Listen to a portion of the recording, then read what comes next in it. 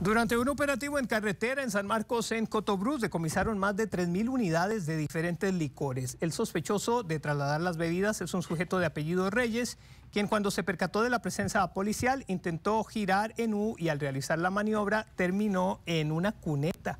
Posterior a esto abandonó el vehículo y trató de huir, pero los oficiales de la fuerza pública lograron alcanzarlo y finalmente fue detenido. La mercancía quedó a cargo de la Policía de Control Fiscal.